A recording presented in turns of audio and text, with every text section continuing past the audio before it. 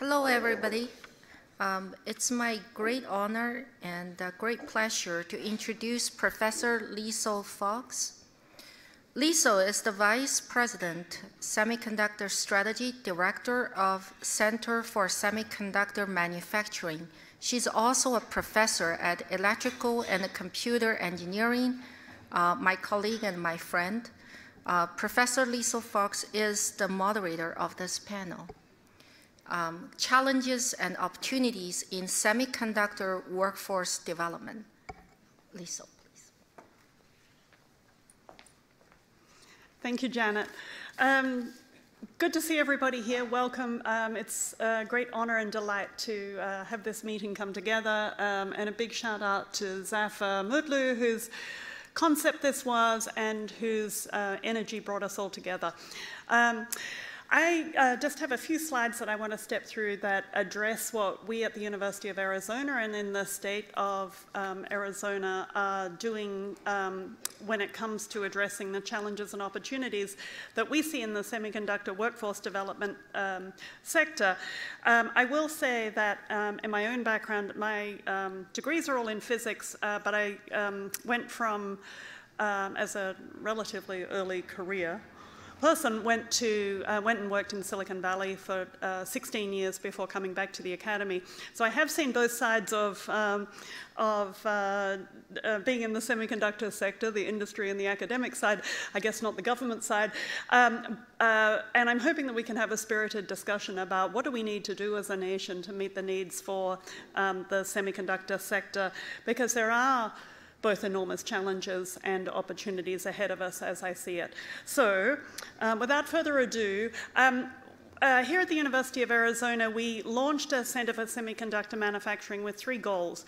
The first of these is to partner as widely as we can to develop comprehensive curriculum offerings, which is a recognition that over the past 15 to 20 years, we've disinvested in educating people specifically about semiconductor technology, which was a reflection of a disinvestment uh, by industry in uh, having manufacturing operations onshore. Uh, and of course, um, I speak as a member of the Faculty of Engineering. There's also been disinvestment at the federal level in R&D in this space, which has meant that faculty have have focused on other things largely. Um, we want to absolutely be um, performing R&D to address commercial and national security needs, um, and importantly, to provide a single point of contact for industry partners needing the support of the university um, as they go about their uh, efforts. So that's um, the centre. I want to then zero in on the workforce development part of that. As I said, we're really uh, keen to make sure that we're not reinventing any wheels. We want to make sure that we're partnering um, across the state of Arizona to develop curriculum and deliver it in ways that are uh, modern, flexible, and adaptable and meet the workforce needs where they are, meet people where they're at in terms of um, educational needs. So our objectives are to cover the waterfront. We want to have expanded access to technical training and education at all levels, spanning uh, high school, community colleges, universities, current workforce upskilling, and continuing education groups. And then we also need to recruit K through 12 students into semiconductor related studies with engaging and interactive content. To that end, we have under development two major um, uh, infrastructure components. One is a digital content for a digital content sharing platform that will allow instructors and faculty um, at our partner institutions to freely swap and use curriculum that's developed at different institutions. And that content will come in very modular pieces. It might be a short snippet of video, it might be a full lecture, it might be all kinds of different um, sort of modes and modalities. But what we want is to serve it up in a way that's highly searchable so that people at any institution can drop into the platform and say, I need something that explains this physical phenomenon or that process. Um, and have the different institutions be able to add content to it so that it builds and grows over time and gets refined over time. And I'm happy to talk about that in detail. Um, the other thing that we're doing is building an AR VR training uh, platform, which we call Semi Experience, that will serve up um, augmented reality training in the same way. Um, we have support for this effort from the Arizona Commerce Authority, and I want to give a, a special shout out to Pima Community College and Greg Wilson, who's uh, here with us on the uh, panel today, is going to talk particularly about Pima's role in this. Um, a, another partner of ours, Central Arizona College, has been really important to us in this. Unfortunately, they couldn't be here today. Chandler Unified School District um, is um, a, incredibly important partner to us as well, um, and we're working with them to build what we think will be the nation's first career and technical education program, a two-year high school program in semiconductor manufacturing. So that's a lot of, um, lot of fun things going on there. Um, so um, here's just sort of a laundry list of all the things that we've got underway now. I just mentioned the two-year uh, program, the CTE program. Unfortunately, that won't launch until fall 2025, but that's because of the pace at which state departments of education roll, which is not fast. Um, so we have approval to develop this program, but it can't launch until fall 2025. Um, on the undergraduate um, side, we are developing a fast track in semiconductor manufacturing, which is a, a phrase that we use internally to mean a co-curricular program with about 20 hours of content that has a digital badge and a certificate with it, but carries no prerequisites so that any student can come into the program and get a taste and an understanding of what semiconductor manufacturing is. Um, then we have an undergraduate certificate in semiconductor manufacturing um, coming online in fall 2024, a minor in semiconductor manufacturing. At the graduate level, we're bringing online three, uh, initially three grad stackable graduate certificates that lead to a master's degree.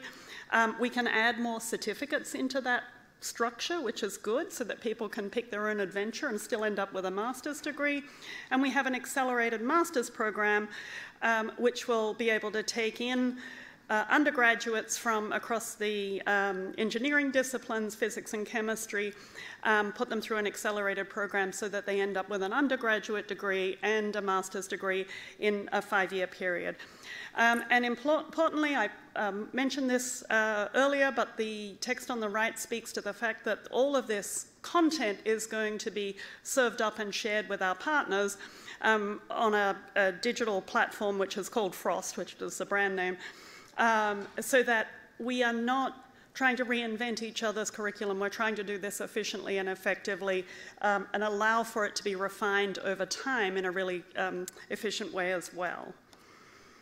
Um, and then I want to give um, a shout out to some of my colleagues who are here in the audience who have put together this concept of this semi-experience uh, platform, which is a similar idea but serving up augmented reality content. Um, our goal and aspiration is that we will be able to incorporate company-provided content as well as university-created content in a platform that allows students to have a digitally immersive experience in semiconductor uh, manufacturing environments and with semiconductor manufacturing related tooling uh, without them needing to be physically near a clean room facility. This will be a really important part of trying to bring people into the fold and, and develop an interest in the semiconductor sector no matter where they live, including in our vast state of Arizona, people who live on Native American reservations and in very remote and rural towns. So this is a really important part, we believe, of building a much more inclusive workforce hand over the um, podium to Elizabeth Greene, who I'm delighted to introduce to you. She's the Global Senior Director for Organizational Learning and Development at Lam Research. Elizabeth, thank you. I'm going to put the magic device there in case you want to use thank it. Thank you. Hi, everyone. It's nice to be here today.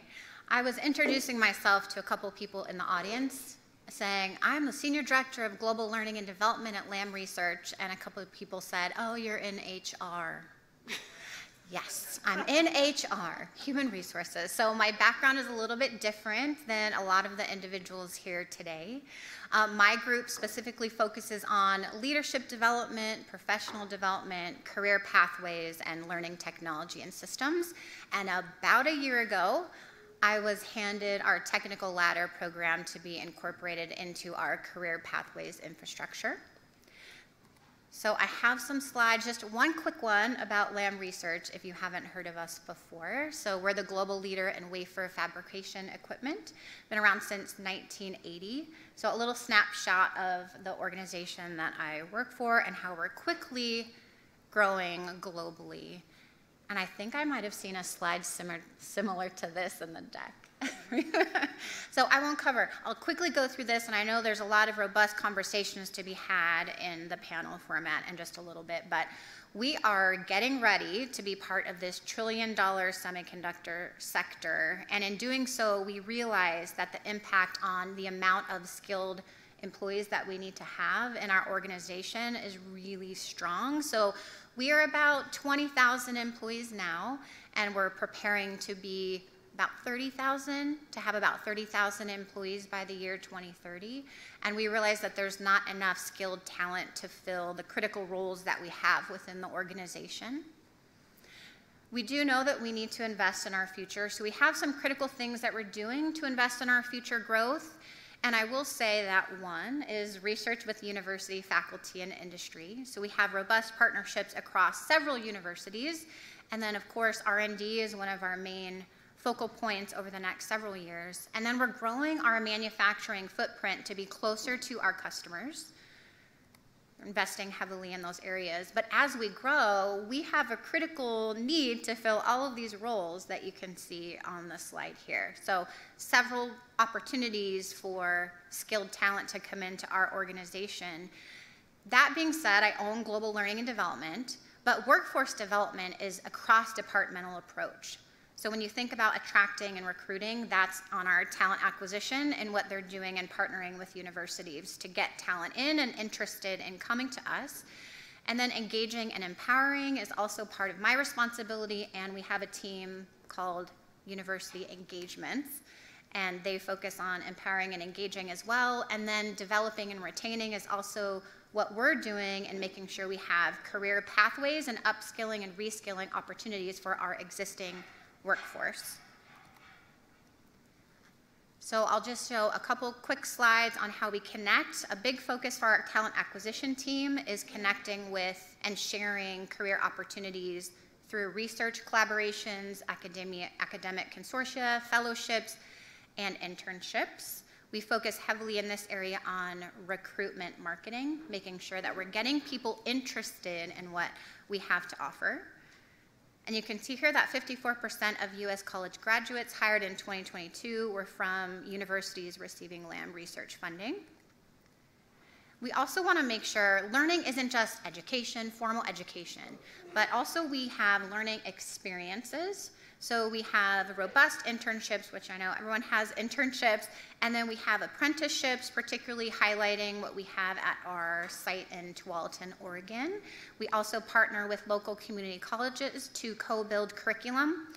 Then they come in, and this is more of the assembly to test technician experience, and they work with a senior technician to do on-the-job training, kind of like a buddy program we also sponsor high school students who are from a variety of different types of schools, and they come in and we call it the I Can See You, I Can Be You program, where they're coming into our Fremont campus and taking a look at what it's like to be an engineer for a day. Um, and then we also, as others will talk about, we are heavily invested in virtual reality training tools and on our tools and equipment. So that's part of the experiential learning that we have and then we are piloting a program for our Semiverse solutions. This is something that is making sure that we're lowering that barrier to access, again, in sort of the Semiverse space around training. And then the university engagements and channels, I spoke a little bit about this. I will speed through some of what we're doing here. I heard someone at lunch talking about the Grace Hopper Conference, so I will notate here some of the engagements that we have um, partnerships that we have and making sure that we can close that gap with a skilled workforce with diverse representation. So we're part of the GEM National Conference and National Consortium, the Grace Hopper Conference. We also give scholarships through the United Negro College Fund.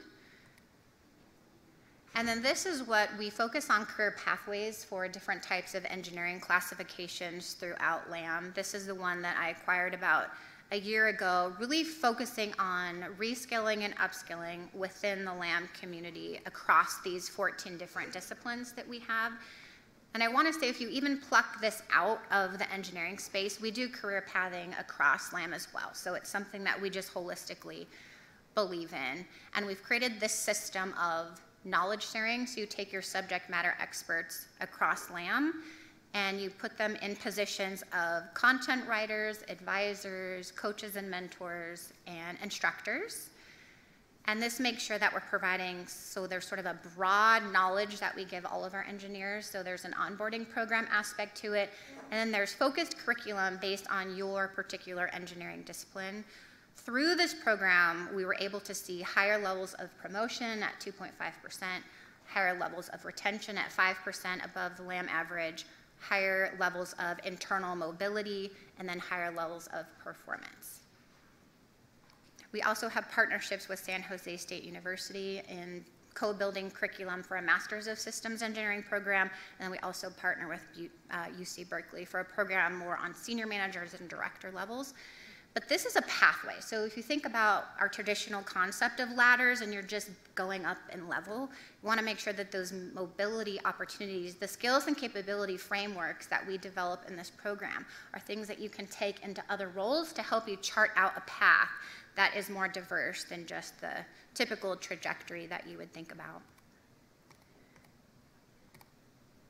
And lastly, to close, uh, what we want to do now is to make sure that we're scaling our career pathways through a through technology. So we're looking at an internal talent marketplace. How can we capture the skills and capabilities of those within Lam and have a line of sight for them for opportunities that they can, you know, create a career aspiration for? We fill that gap with education, exposure, and experience.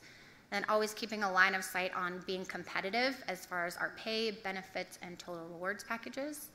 And then we really want to amplify our community college and university partnerships to continue to co build curriculum and offer those on the job experiences. Thank you very much.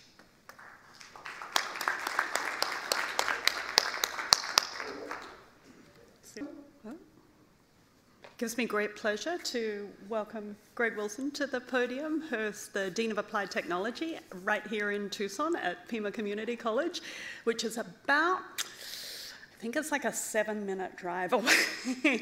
uh, so we work extremely closely with Pima Community College. Um, it is our biggest transfer pipeway for students coming uh, into engineering here at the University of Arizona.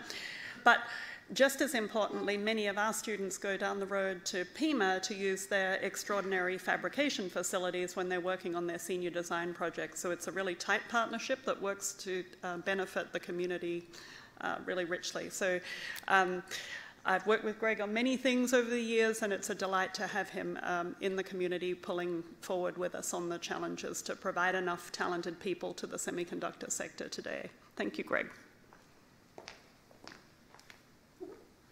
Thank you, Liesl. And Zafir, thank you for the invitation to be here today. Uh, yes, seven minutes or exactly 1.9 miles, but you know, timing is everything, right? Uh, so I wanted to share a little bit about what is happening uh, west on Speedway. Uh, again, I'm Dean of Applied Technology, which for Pima is one of our 10 academic divisions. Um, and as we're focused on workforce development, uh, just wanted to share that we also have a workforce development team that is a horizontal that works with every group uh, across the district. And for the last several years, really going back to, uh, it really started with our previous chancellor, Dr. Lee Lambert, when he joined us in 2013. Uh, and then we got a little bit specific uh, in 2017 when we dedicated a, just under $100 million to the first of several centers of excellence. And this is coming out of work that we've done over the years with the Lumina Foundation. Right? Anyone can build a, build a building and then slap a Center of Excellence label on it. Uh, but this uh, graph gives you an idea of this, the types of things that go into that uh, in terms of standardizing how you work with industry, how you work with your educational partners, and the type of curriculum that you're building. So, as has been mentioned previously, we really are what we see as a partner from our middle school and high schools, uh, the K 12 systems. Just to give you an idea, we currently have dual enrollment partnerships with several districts in southern Arizona, and that's about 6,000 students that we serve uh, every year. Um, so either dual enrollment or concurrent enrollment uh, for programs like aviation, where uh, we have a huge uh, center down by the airport, and the high schools don't have that, so they just send them directly to us. Uh, multiple on-ramps and off-ramps, as was mentioned before. Uh, so yes, we will serve that high school population coming into us through dual enrollment, so they don't have to start from scratch. But we also do a lot of upskilling and reskilling. So again, partnering with our workforce unit where we are able to hire faculty from industry to uh, raise this, the uh, performance levels of those already in the industry. Case in point, one of our newer developments has been around optics. Uh, we are serving optics technicians in the first class we ran uh, this past fall. We had an industry person, and all of the students in the class were already employees of local optics firms, but they didn't have a, a lot of background in it, and so we ran a 10 week class that really just uh, helped upskill so they were able to perform at a higher level. Uh, I'll mention the facilities a little bit. Um, so, yeah, two miles that way, we have created the first of several centers of excellence. Uh, again, total just under $100 million. It's a three story, 100,000, 130,000 square foot advanced manufacturing building. And I know several of the folks are coming to take a tour. If you'd like to be part of that group, just let us know. But we are all about hands on. Um, we do quite a bit of theory, but students do not get through our programs without actually performing the tasks. Uh, and then applied technology, our area is the first of several centers of excellence. If you have not seen our cybersecurity um, live cyber warfare range that it's, that's at the East Campus, I highly recommend you do that. Uh, the dean always likes to share that students were actually finding or fighting off hacks that the FBI actually wasn't aware of, so they actually were able to send a note um, because, again, these are industry folks that are helping our students, so they found something and we're able to, to pass that along. So we try to make everything we do uh, mimic what is happening in industry, and that's because of the industry partners that we have. And you can see the rest of the uh, centers of excellence that are currently in the works. Uh, just to give you an idea of numbers, uh, you know, for community colleges across the country, numbers have been equal or down for the last several years. Uh, again, we have invested quite a bit in the applied technology, and Pima is actually doing pretty good this year. We're up 5%, but on the technical side, we're actually up 23. Uh, and that's not even fully realizing what, uh, we haven't really even fully realized uh, we've got waiting lists and we're still kind of opening up the space, right? So the building opened, you can see the ribbon cutting, that was uh, May 5th actually, and we first started serving students uh, in August. Uh, so I mentioned high school partnerships, for example. So if you're familiar with JTED, uh, the local high school system, every year for the last four or five years, they've had 65 to 70 students that they wanted to send to our welding program. And we could only take a handful of those until we opened the building. And so if they have a waiting list, I think the waiting list today is 66. We were able to save 20, serve 28, and by fall we'll be serving all of them and then some. The aviation expansion, uh, we doubled our footprint physically, but then are also serving, went from serving 125 students to 250, and we still have a year's waiting list. So in terms of meeting industry need, uh, it takes a lot of work. Uh, those are some of the other areas. Um, really just want to focus more on the semiconductors and really highlight some of the things that we're doing to attract students into the pipelines. That picture there is actually uh, if you're familiar with NC3, the National Coalition of Certification Centers, uh, they run what they call signing day. So if you're familiar with the high school athlete who puts on the hat to go play at Arizona or Alabama, uh, we do the same thing for students that are deciding to take uh, a technical pathway. Have their parents, um, that doesn't even really show the full crowd. We actually had about seven to 800 guests, including industry parents and students, so we serve everybody, nursing students, the te technical students, because we really want to let them know that the industry and the community is behind them.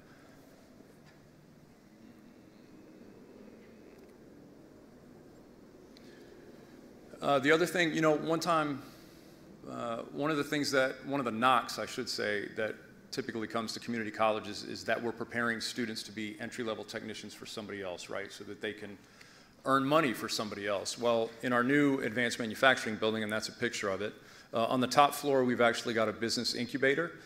And on the bottom floor, we have an idea lab. So we are leasing space to uh, those entrepreneurs that are right before the accelerator stage.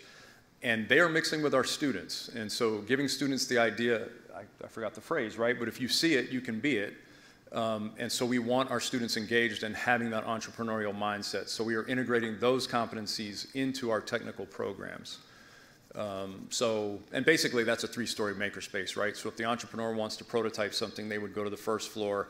Again, students are interacting in that space uh, and they can see how that's done. We also have a, will uh, tell this one story. Caterpillar, when they moved their surface mining division from the Midwest to Tucson several years ago, they called Pima and said, hey, can you, can you help train our engineers in machining, welding, and prototyping? And so our faculty met with their engineers, had them design a small vehicle that would tow a load. Um, you know, because you want the engineer to understand the final product, right? You can design whatever you want. Doesn't mean the technician can get behind the $75,000 tire. It went really, really well, right? We ran several cohorts, but we could only do it on Fridays when our labs were empty. And so this building on the second floor has a 10,000 square foot flexible industry training lab. We've got a 10 ton bridge crane, loads equipment in, put it into that 10,000 square foot space, train Caterpillar, train Raytheon, train Sargent, take it away, bring in the next thing, and we just keep revolving. And again, the student lounge is right next to that, so students are being exposed to that nonstop, you know, how do you stay current with industry? Uh, virtual living learning labs, that's something else that we do. So being able to feed students live data so they can make live decisions. Um, one of the examples of that is uh, we have an energy partnership with Trane, for example. And so students who are doing building automation systems are able to see that uh, and then make decisions. Again, trying to imitate industry as best we can. Uh, industry certifications. This is a picture of the optics group, so all industry members helping us build our curriculum, uh, and we're about to do the exact same thing for semiconductors. So. Eh, I'll just show off. That's a picture of our brand new aviation hangar with the brand new jet um, that was donated. So, yeah. Thank you. There we go, I did it. Uh, Patricia Simmons is the Associate Program Director for the Division of Engineering Education and Centres, the EEC, as we fondly know it, um, at the National Science Foundation. Thank you, Patricia. Okay. Thank you. And thank you again for the kind invitation to join you today. I always am delighted to do that. And I'm also shameless about recruiting future reviewers. If you would be interested in reviewing for us, please let me know. We are always anxious to work with new folks uh, and value your input in this process. Well, one of the things, let me make sure I get on the right button here. Yes, um, I prepare too many slides, and so some of these I'm going to go through very quickly because you can read them at your leisure, and I am delighted to discuss them with you in great detail at any time, and I've put my contact information in there. We've heard already from our previous speakers today about the workforce needs, um, the CHIPS Act, what's going on here. We do require and need a, an increase in the workforce for the next several uh, decades. So where does that leave us at NSF? Okay, when we look at that, we can see, and again, here's some very nice charts for you to use in your proposals as you prepare them for submission. Um, just a little hint there. Uh, to look at what's really going on and what can we be doing. You know, where are we now and what do we need to be concerned about from that point of uh, degree. And again, previous speakers have talked about the needs, certainly in electrical engineering, and the fact that that's trending down, not up in number of degrees. And we have, of course, the data to show that. Um, and that's of great concern to all of us uh, if we're going to maintain and increase the workforce, especially in the semiconductor industry. So where does that leave us now? Well, let's look at what we currently know about DEI and what's happening. So if we look at diversity and we look at race, race and ethnicity, we can see these are the percentages for uh, students with Hispanic backgrounds and also African Americans, black, uh, coming into electrical engineering. That's what's happening at the different levels as they're completing their degrees. If we look at women, coming up next here. Here we go. We look at gender. This is what we see about women and bachelor's degrees in this area. Okay, and in particular, we can see what is occurring here. So that's not acceptable, and I've heard that said by many people at this meeting as well. So what can we do about that? What is it that we need to be aware of in terms of the cyclical nature of an industry as well? So what can we do to attract more students? We've heard some really good ideas so far. You're doing some fabulous things at various institutions, which is moving the needle. But again, we need to look also at the national level. What can we do? Um, again, salary is not sufficient in and of itself. We've heard when the previous speakers mentioned that. So what is it that we can do to increase what's going on here? Okay? What do students really want in a career? Okay? And if we look at a Wordle, this is what has popped out in terms of that. Change the world is really the core concept. Now, we know that because we probably believe the same thing. Okay, so that's wonderful. Money is certainly very important because you need to be able to sustain a lifestyle, to have a family, to have a good career, and enjoy that um, job security. So other things are, other variables are also very important to people. So what can, what does this mean for what we do? Okay. Use the arrow keys Okay. on uh, the, um, On the computer? Okay, thank you. easier to manage. I think. Yes, I think you are absolutely right. Okay. So, all right, here we go. Oh, going backwards. Okay. Up doesn't necessarily mean forward. No, doesn't help the program. If you do the right, ang- right arrow. Okay, there we go. Okay, sorry about that.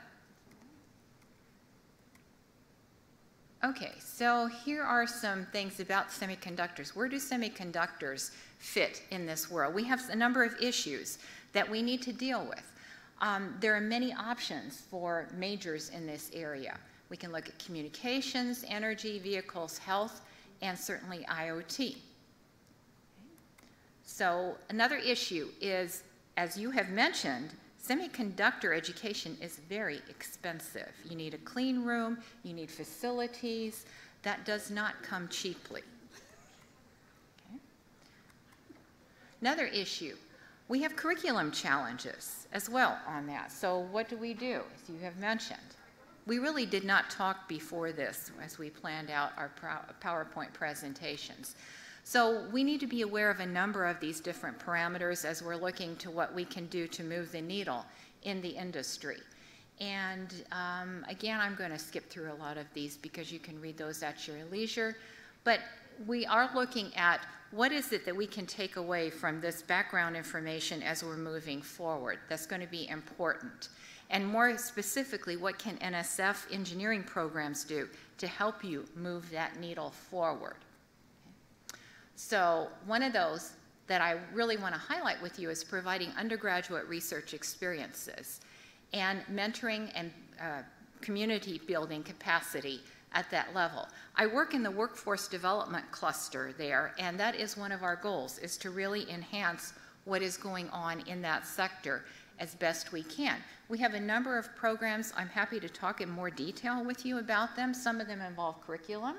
So there's no need to reinvent wheels because we have some national curricula already going uh, in engineering, and I'm happy to put you in touch with people. That's one of the reasons we come to these meetings, is so that we also help you network where you need to do. These programs range from elementary level all the way through to community college.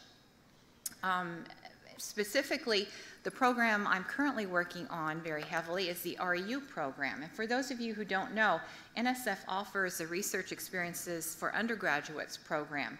Engineering has the largest number of projects in this area for uh, the entire NSF.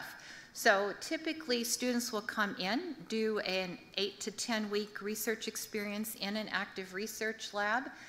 Typically, the um, PIs will try to recruit those individuals who come from research, uh, not research strong institutions, along with uh, certain demographics and backgrounds to try to increase the uh, and broaden the participation of people in this area. This is just a quick map. We have over 165 sites right now. I would love to increase that. That's a hint um, for you um, and really see what we can do even further at the national level. We have another program. Not only do we focus on undergraduate students, but we also focus on teachers. Because as we know, teachers can make a critical difference. And when I say teachers, I'm talking about the pre-K all the way through community college level, okay?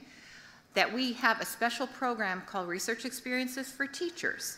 And again, it's very similar to the REU program for undergraduates, but it is focused on educators specifically. And again, we have some 45 plus sites, and we really work very hard with the teachers and the PIs to make sure that they understand what it, the nature of research and engineering is all about and how they can very importantly translate those experiences into meaningful activities and exp learning experiences for their students, no matter what the level. We also have a veterans program. Just throwing that out there for some future ideas that you might have. And then I'm very pleased to talk about the new partnership that we have on the REU program now. And you heard actually one of the former REU students speak about that, Todd. So his experience back in his undergraduate days, he had the opportunity to participate in an REU. We, uh, last year, we put a partnership together with this uh, Semiconductor Research Corporation, and it's a very active and viable partnership. We're very pleased about being a partner with them to help sponsor some of these REU programs. And specifically, we had six programs, uh, projects last year that we were able to fund together. And again, these are all public knowledge, so I would encourage you to log in contact the PIs on this and see what they were doing that really merits uh, the support of both NSF and the Semiconductor Research Corporation. And with that, I will pause because part of this is to get to know you and talk, and I can't wait for your questions. So thank you very much for your kind attention. I can tell it's not my computer. Oh, no, wait a minute. There we go. And now I'm going to, um, it's my great pleasure to introduce Erik Hadland, Director for Technology Policy at the SIA, the Semiconductor Industry Association. And I just want to give a shout out to the SIA because nobody has produced more beautiful graphics that have been than have been shown here today to show us where all of our problems lie as a nation um, than SIA. So um, thank you for demonstrating exceptional communication talents. Erik, you can pass our thanks back to your team. Over to you. I'm so glad that this report is getting uh, some utility and uh, you folks are finding it uh, beneficial to the things that you work on. Um, like Liesl mentioned, Erik Hadland with Semiconductor Industry Association. It's my pleasure to be here with you all today. Uh, I want to talk to you a little bit about uh, who SIA is uh, and how we're thinking about this problem of workforce development and the needs that we need to reconcile with in the, in the coming years. Um, so for those of you who don't know, Semiconductor Industry Association is the voice of the U.S. semiconductor in Washington, D.C., semiconductor industry in Washington, D.C. Uh, we represent about 99% of the semiconductor industry by revenue uh, domestically and about two-thirds of non-U.S. chip firms. Um, I'll leave it to you to figure out the third that we do not represent. Uh, but uh, we, we really seek to present uh, aggregated uh, industry insights to lawmakers and to the executive branch so that they have the information they need to put together policies and funding programs that will be most activating to the industry. Uh, we want to advance policies that help the industry grow. Uh, we're going to talk a little bit about that industry growth in the coming minutes. Uh, we also want to unite the industry around common challenges. What are policies that will fuel innovation, uh, even if it's innovation that's far into the future? Uh, we want to make sure that we're being attentive to our basic science programs. Uh, we also want to propel business. Uh, not all problems that the industry faces are technology problems and science problems. We have economic problems and business problems and supply chain problems. And we need to be engaging those with our lawmakers also. Uh, finally, we need to drive inter, uh, international competition. Our companies and our innovation are some of the best in the world, and we have product solutions that will be beneficial well beyond our own borders. Semiconductors create jobs. Uh, currently, we have about 345,000 semiconductor jobs in the United States. Uh, just over 200,000 of those come from de uh, device manufacturing sector.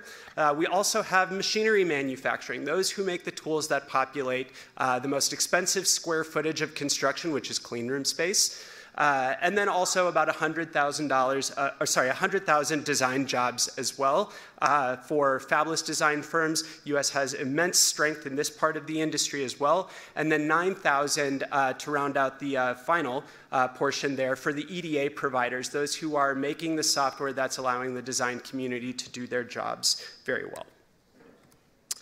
But we are not only creating 345,000 jobs in the United States directly in the semiconductor industry, there's about a 5.7 multiplier for jobs in the industry uh, that benefit from uh, the products that we make, uh, comprise our sub-suppliers, uh, those who are doing uh, materials providing to us, as well as uh, construction jobs, et cetera. When you multiply all of that out, that's about 2 million jobs. So there, are, there is a very significant fraction of the US economy that is dependent on our industry. And we're growing. Uh, as was mentioned uh, earlier, and thank you very much. I'm glad this is uh, I'm glad this is making its way out again. Uh, you, the uh, SIA and WSTS, which is a body that we work with, uh, has forecasted out to the end of the decade that while we are currently sitting right at about 575 billion dollars in annual revenue, that's going to grow significantly by the end of the decade. we forecast out to a trillion dollars. Growth in our industry tends to come from new use cases. We are not just putting semiconductors in computers and smartphones anymore. Uh, we find new use cases for this all the time. Todd mentioned the sensors that are creating enormous volumes of data. AI, generative AI, is an enormous demand driver for our industry that we forecast is going to uh, add significantly to uh, helping us close that gap to a trillion dollars electrification, electric vehicles, uh, the charging infrastructure that goes along with all of that, and autonomous driving. Um, these are all demand drivers that are going to usher us into that uh, $1 trillion uh, annual revenue. A lot has been said about the uh, workforce development problem already, and I don't need to, um, and I don't need to convince anyone in this room that it's something we need to be paying attention to. Uh, but this is not an amorphous boogeyman that we don't know. We have numbers to go with this. SIA uh, commissioned a report with Oxford Economics uh, to understand what kind of gaps are we talking about, what levels of education, what majors, what disciplines. Uh, we published this report last summer, Chipping Away, and it's really aimed at quantifying uh, the gaps that we're seeing so that we have a target to aim at and a benchmark that we can measure ourselves against with new interventions that come online. One of the main findings of this report is that we are not unique. This is a problem that faces the tech sector in the US broadly. Uh, there are actually about 3.85 million job openings created by the end of the decade, and uh, semiconductors are only a small piece of that. Uh, so we have some company here. We have some company here in this problem, and a lot of people who are aiming at uh, aiming at uh, moving the needle on this in some pretty monumental ways. But within the semiconductor industry, we are forecasting that there is just about 115,000 new jobs that will be added by the end of the decade. And under current graduation rates and business as usual, we face potential to uh, allow 67,000 of those to go unfilled. Um, I like to point out right off the bat that this number was calculated under a business as usual scenario, and we are not in a business as usual scenario. There are new, pro, uh, new programs that, get that are getting introduced, programs that are still uh, being planned that will come online, and they will move the needle on this 67,000 job shortfall. How much? I don't know yet it's important for us to refresh this analysis on a regular cadence so that we know where our efforts are being effective and where we really need to double down siphon more resources into it, work a little bit harder uh, to close that gap by the end of the decade. Um, also, we turned out uh, some analysis that showed that this is really a diverse problem. This isn't only PhD engineers that we need, this isn't only technicians that we need. Uh, we need computer scientists, engineers at all levels of education, and of course, a very significant fraction of technicians as well. Um, this growth is coming primarily from two, uh, two drivers. Number one, the growth in the industry. When you go from 575 billion to a trillion dollars, that's going to create a lot of jobs. Additionally, the United States, through the CHIPS Act, is bringing 230 plus billion dollars of new investment online in the United States. That will also create new jobs as well. Uh, so this is really an aggregate of those two drivers. So what do we do with all of this? What are the recommendations here? First off, we have to focus on regional partnerships and programs for growing our pipeline for skilled technicians. Um, these are jobs that are needed in certain parts of the country, and in certain parts of the country where the semiconductor industry is not, that's not a good use of our resources to be focusing on uh, growth in those, in, in those areas, particularly at the technician level. Technicians tend to stay closer uh, to where they received their education than, say, a PhD engineer who's willing to go almost anywhere, and uh, we need our programs to actually reflect that. Uh, let's see here. Second recommendation is that we need to be growing the STEM pipeline for, energy, uh, for engineers and computer scientists vital to our industry and other sectors as well. Uh, so, like I mentioned, this is really a STEM problem, and part of that is we need to just get more and more students to choose careers in STEM and to help them be successful in STEM. Uh, student, there, there's a little bit of a disturbing statistic that uh, a lot of students get into uh, a chemistry major, a physics major, an engineering major, computer science, W, whatever it is, and those classes are really hard, and they're not able to be successful in those classes, and so uh, we end up losing a lot of them. It's uh, really unfortunate that this has come to be thought of as uh, there are weeder classes out there. I have yet to meet a single professor who's looking to end the year with fewer students than they started with. Uh, we need to help our students be successful because this content actually is quite difficult. Recommendation number three, and I would be criminally negligent in my job to not uh, say this, we need to retain and attract more international advanced degree holders uh, uh, to work within the US economy and make it possible for them to be here in more of a durable, long, uh, long-standing way. Unfortunately, the immigration issue has become quite politicized, and there are some obvious solutions to this uh, that are very broadly held, uh, but there's politics involved, and we need to really work on peeling that back so we can do the things that are going to make sense for uh, getting the best workers in the world to want to come to the United States and make that possible. Uh, so with that, I'll thank you. Looking, I'm looking forward to a discussion and uh, pass it back to Liesl. Thank you. I want to play a game now with my contestants up here. Um, I want to do a quick lightning round and ask them to give me, I don't know, one word or a phrase that you would um, give in response to students who say the very things that Erik just articulated so well. Um, it's too cyclic and too unstable. Erik, go. Sorry, the question How do you convince students to come to a field that they view as being cyclic and unstable? I think we need to do a be- well. First off, the Why don't you get, you get a phrase? Come on, man. I'm not looking for an essay. um, you are What did I already say? interested in what we do. How am I interested? Come on, give me more than that. Semiconductors are everywhere. Um, these are in energy technologies. These are in medical technologies, and they're oftentimes the enabling technology for those industries, and yet we're invisible. We need to do a better job of making connections to the things students are already interested in and showing them how we participate. You're precious. All right, so your, your synopsis there is we've got to make it more clear that semiconductors are embedded in all the things that they love and that they can get involved in a myriad of different sectors across the whole value chain. Is that yes. fair? Very good. Patricia, you got anything better than that? Yes, be the future. Oh, be the future. Mm, inspire them. I love it. I love it. That's a good one. Greg. Uh, we always share with students that Oh. this is a special pathway. For special ed? No. Oh, no. That- Meaning, you've got to be special to take this pathway. Okay. There's an exclusivity to it that, Oh, join the special club. exactly. I like it. I like it. That, oh, it's not working. Oh, we've lost microphones. I think there, there's a switch on top. Oh, there's a switch. Oh, we didn't know that were. Oh, okay. I'll look at that. Magic. Um, yes. I would say the concern that I'm hearing is people not wanting to join because, wow, there might be layoffs, I might Right. lose, right? Mm-hmm. So I would say, as Lam Research, we could mm-hmm. say something like, you invest in us and we'll invest in you. Mm-hmm. So upskilling and reskilling transferable skills that they can take to other organizations or other interests. Mm-hmm. That might I like help. it. Okay. Yeah. Is that I a good like one? it. I think transferable skills is important here, right? To convince students that as we're training them, we're training them to do a myriad of things, not Yeah. one job in one organization. Which leads me to my next challenge question for my contestants apprenticeships. Good, bad, going to solve the national problem?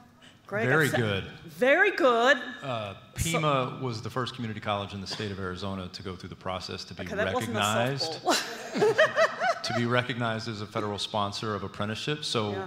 you know, in our partnerships with workforce, hey, if we can walk into the room and say, "We'll take care of the paperwork, we just need the partnership," and if you Right. can provide the pathway and step up the salaries over the progression, very good. Very good. And can I give you, can you give me a number? Like how many apprentices are you pushing through? Uh, I don't know that off the top of my head, but I can share. I mean, Yeah. machining, automotive, building and construction, uh, automation and robotics. So welding. hundreds? Hundreds? I Hundred? th- well, we just went through this federal Okay. process, So so m- might be getting close to that. Okay. But it's, the team is growing. So we believe in it. I mean, we're piloting it in our Tualatin, Oregon location. As we're building out that facility, we need people now. So we have, we feel like it's a viable option to get entry-level talent in by partnering with the community college, giving, mm. in co-writing the curriculum and creating an opportunity for them to partner right away, six months mm. with someone in a site who you're walking through the processes, and then from what I'm hearing from the site, it's about six months after that for them to be productive. Mm. So it does seem to be working in our mm. case study, mm. yeah. Anybody else want to comment on apprenticeships? Erik? Apprenticeships are great because we need multiple modes of learning for the volume of workers that we're looking at. Uh, Some students will respond very well to that paradigm, and it's a good way to get a student who in the door who might otherwise have been excluded. And uh, so this is a great tool for us to add to our toolbox. So, um, summarizing the things that you've brought together and, and um, you know, reflecting on Erik's data, we have two really big problems. One is the volume of people that we need to come to the sector and get interested in it, interested enough to even walk in the door and ask, could I get a job? But the other one is we're in competition with a whole pile of other sectors, all of whom want all my engineers, for example. What is it you would say to students that is compelling about why semiconductors rather than clean energy or any of the other engineering disciplines in particular that want the same people and the same talent?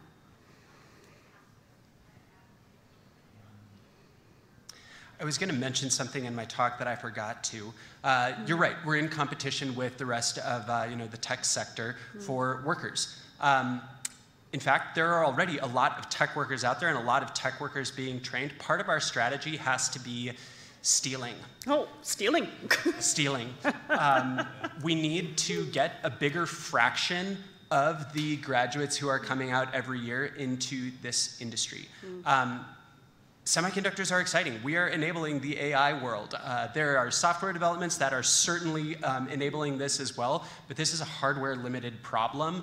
And so, uh, one of the things we hear about from students is, oh my gosh, AI is great, and I really want to go into AI. Fantastic. Make the hardware that can make it possible. Uh, but really, again, focusing on those connections to the things that they care about and showing how our sector is going to enable those for decades to come. Excellent. Any other comment there? I'll turn to the audience. Very good. Questions, comments, thoughts? Mike. Mike needs a mic. Or, or. Thank you. Ah. Um, this is a, a great topic. I appreciate everyone's thoughts on it. There's a uh, factor that, a challenge, I would say, that hasn't really been discussed. Um, and, and so, so over the four decades of my academic and professional career, I've watched the state funding for universities decrease steadily, dramatically over the years, over the decades. Um, I remember uh, uh, universities in Illinois went like two years without funding because the legislature couldn't get their act together. But, um, but the point is, it's made it more and more expensive for people to go to college. So my question for, for any of you all is, is, is there a campaign to lobby state legislatures to say this amount of funding in state universities brings this amount of economic benefit? Is there, are we paying attention to that uh, stakeholder segment in, in, our, in, our, in our economy, in our, in our uh, educational system? Um, I'm going to take a run at it, but welcome comments from the, uh, from the um, panel as well. Yes, uh, there's a lot of effort goes into that messaging and assessing the economic value. Um, I would, um, however, point out that universities rank fourth or fifth on the priority list in every state, where below is the pension fund funded, are the roads intact, are the schools operating, K through 12 operating effectively, and usually we fall below potholes as well, infrastructure. So, which is why I say four or five. So there's a little bit of variation there. Um, but I do want to give a shout out to New York State and their STEM scholarships for um, students going to university. So I can't remember the details, and maybe somebody here does, but any student who goes into a STEM degree at a state university um, gets 100% of their tuition covered if the family income is less than some number like $120,000 of income for the family. I can't remember the exact number. That was transformative in New York State. That really moved the dial on people coming to universities to get STEM degrees because they knew that families of modest means could then afford um, to support their students through that. And the students knew that they weren't going to graduate with big debt burdens because you're right, we have shifted the cost of education from the public tax base to individual families, and it's very painful for individuals and their families. Any comment that anyone wants to make, Greg? You may not be aware of this, but in the state of Arizona, Maricopa and Pima County receive zero aid from the state, and that's Zero. been going on for maybe getting close to eight years. Yeah. right? So we've come up with different ways. We work, certainly work, obviously, with industry who contributes to our programs, or even local foundations like the Brown Family Found- Foundation here in Tucson contributed 2.5 million to our technical programs uh, a couple years ago. Yeah. We've had to get very creative just to keep the boat afloat. Very good. Thanks, Mike. Any other comments, questions? Yes, way in the back. I'm going to ask you to grab that microphone, though, so that the people that are online can hear. What are your regards for semiconductor and semiconductor adjacent education and grades, uh, kindergarten through middle school? Great question. Panelists.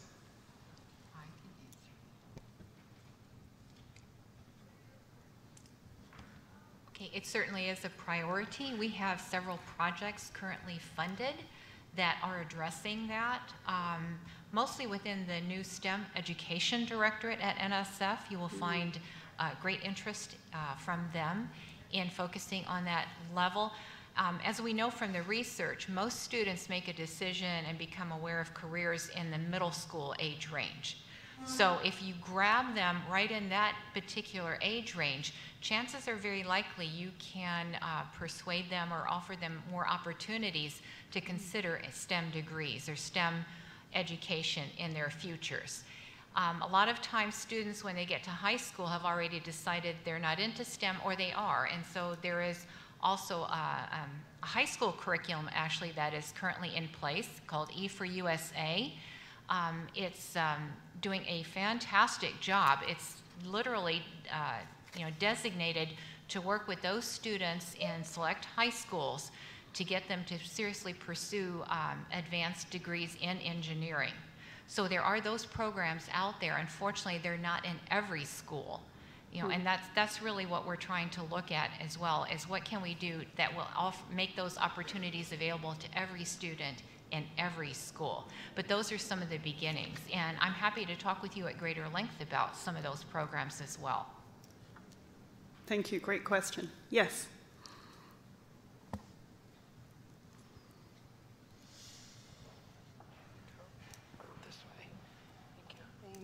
Hi, um, super exciting work, especially at Pima Community College. Congratulations. Um, so my question is, what incentives exist in Arizona to um, maybe maybe tax breaks for companies, you know, to support education at the community college or the higher ed level or even at K-12? Um, I know there are states like New York, you know, that has an extensive community college semiconductor certification system.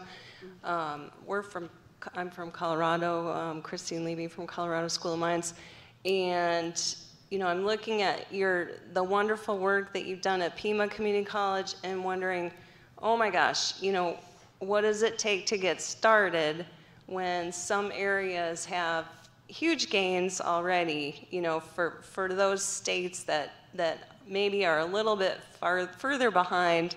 Do you know of any legislation happening, you know, that would provide companies with tax breaks to share industry professionals as instructors, um, anything like that?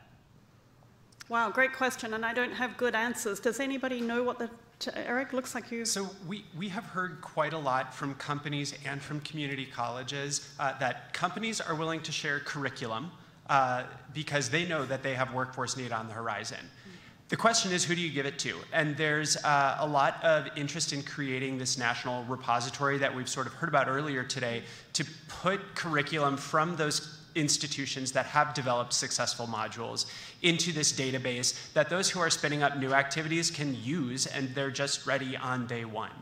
Uh, so getting that up and off the ground and then teaching uh, instructors how to use that and what information is available, uh, there's immense interest in that.